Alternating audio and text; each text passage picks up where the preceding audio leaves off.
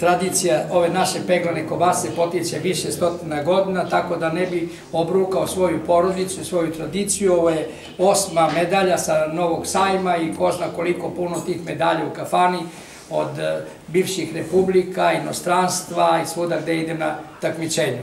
Znači, ovo je čast, e, pošto su nas ipak ispoštovali e, iz komore, da predamo kobasicu na kvalitet, u, ocenu kvaliteta u Novom Sadu, zato što e, sajam nije održan, ali ipak se vršila ocena kvaliteta, tako smo poslali poštom, posle smo otišli da, da uzmemo nagradu, medalju i tako da, da eto, imamo čime ipak da se pohvalimo. Ne samo ja, nego ceo Pirot, znači kad se kaže pegnana kobasa, asocira se na Pirot. I Pirot na pegnanu kobasu, pirotski kačkavalj, pirotski sir i tako da ono što je poznato po Pirotu, osim čilima, sad smo znači mi u prvom redu svuda.